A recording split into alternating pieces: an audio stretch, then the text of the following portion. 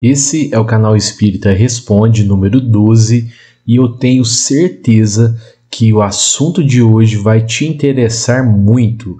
Você quer saber como você pode receber a visita dos mentores espirituais sempre no mesmo dia e na mesma hora determinados? Fazer com que a sua casa, o seu lar, seja um local de muita luz onde enfermeiros espirituais levarão irmãos necessitados para serem ajudados, ter sempre água fluidificada pelos mentores espirituais, água que irá ajudar você na sua saúde física, mental e espiritual e afastar os obsessores da sua casa por uma semana. É agora, aqui nesse vídeo, que eu considero um dos mais importantes do canal espírita até agora.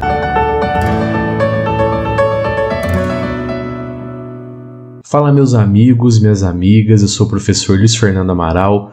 Muito legal ter você comigo mais uma vez aqui no canal Espírita. Então esse é o quadro Canal Espírita Responde e se você tem alguma dúvida que você queira que seja respondida em vídeo, Basta você enviar a sua pergunta para esse endereço de e-mail que está aparecendo aí na sua tela, canal espírita responde@gmail.com, tudo junto, tudo minúsculo e sem acento.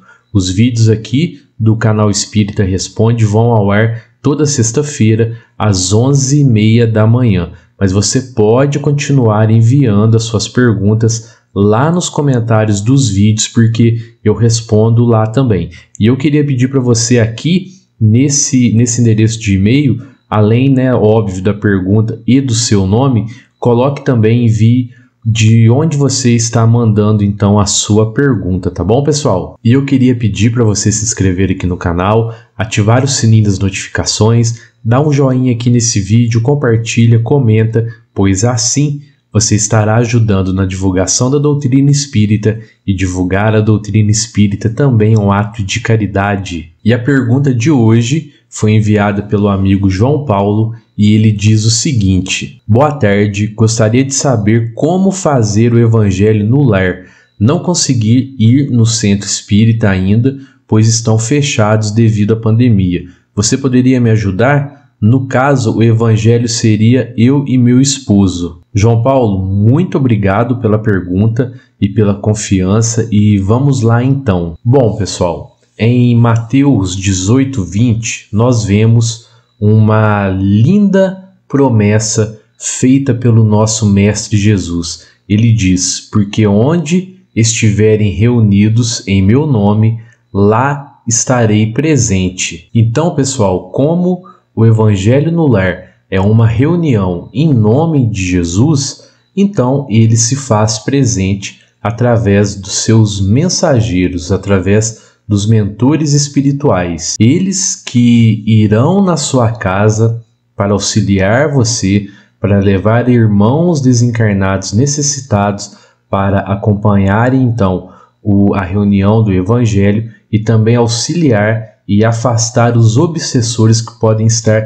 influenciando de maneira ruim você e os seus familiares. Olha só que interessante, pessoal. O apóstolo Paulo percorreu vários lugares instituindo os ensinos de Jesus nas casas das pessoas. Ele incentivava então as pessoas a levarem o evangelho para dentro do lar, onde outras pessoas iam nesses lares se instruírem nas verdades cristãs. Kardec, na Revista Espírita de 1864, ele aborda o tema o evangelho dentro da casa das pessoas à luz do Espiritismo, onde ele discorre acerca da superficialidade das orações ornamentadas, com ritmos e ritualística que prezam os aspectos materiais e a presença física dos fiéis. Ou seja, o apóstolo Paulo ele deu o início e o espiritismo através de Kardec nos deu um novo entendimento sobre a prática do evangelho no lar. Então, pessoal, nesse vídeo que eu considero muito importante, eu vou passar aqui para vocês agora um roteiro de como fazer o evangelho no lar da maneira correta e depois eu explico tudo isso para vocês o que ocorre na sua casa antes, durante e depois então a prática do evangelho no lar.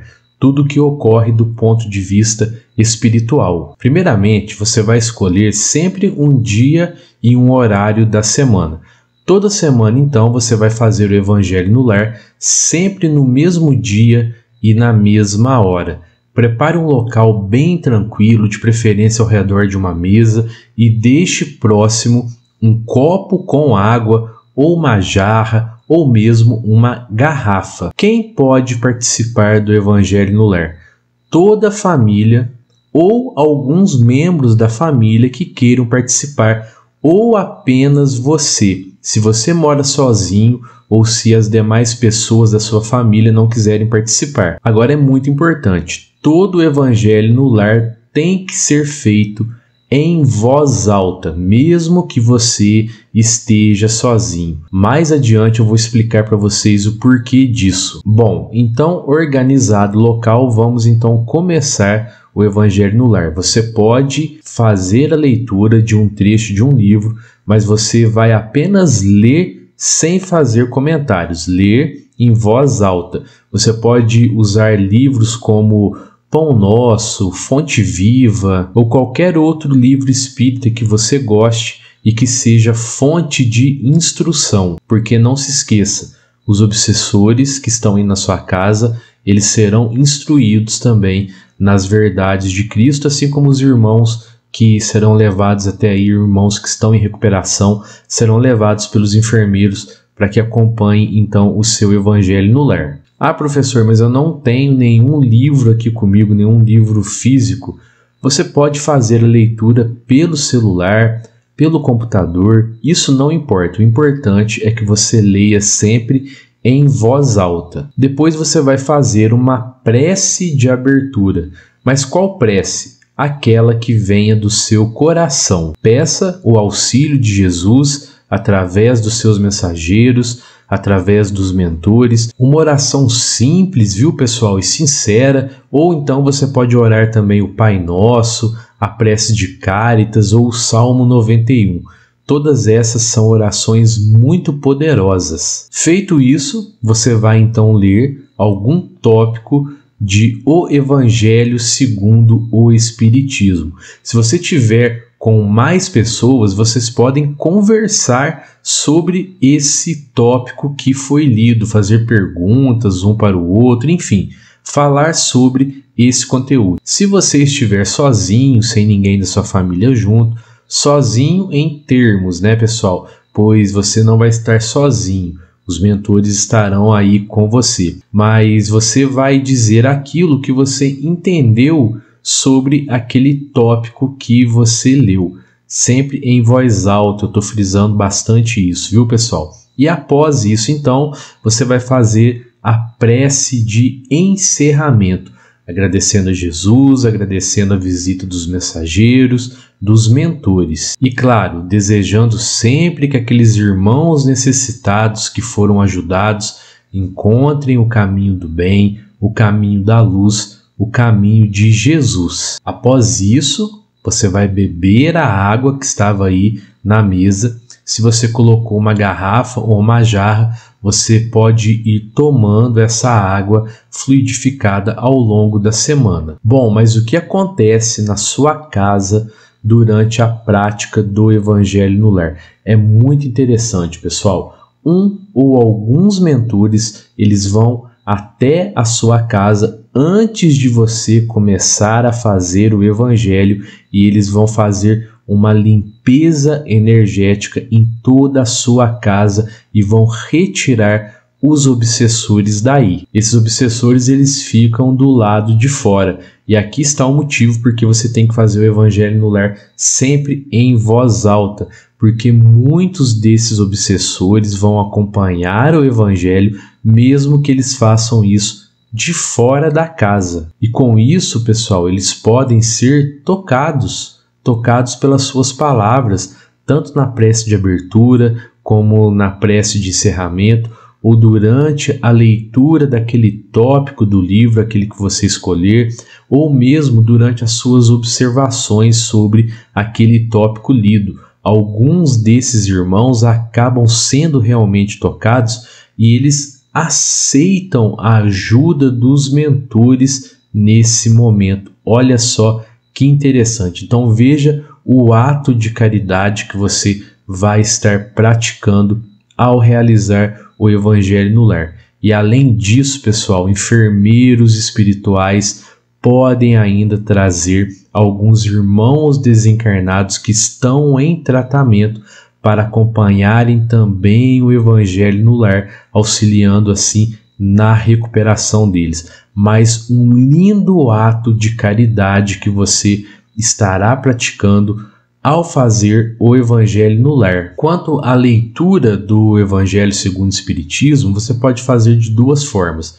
Você pode fazer de forma sequencial, ou seja, você vai dar sequência a esse estudo durante as semanas, ou você pode abrir o livro de maneira aleatória. Na verdade, não vai ser bem aleatório, pois os mentores irão influenciar essa abertura caindo sempre naquela página, na página exata para aquele momento, para suprir as necessidades desses irmãos obsessores ou dos irmãos em tratamento. E ainda, pessoal, os mentores sempre irão lhe inspirar no entendimento correto daquele trecho que você vai ler do Evangelho segundo o Espiritismo e também vão lhe inspirar nos comentários que você irá fazer. Ainda durante o Evangelho no lar, os mentores irão então fluidificar a água que você colocou aí perto de você para que ela se transforme em um remédio para os males do corpo físico,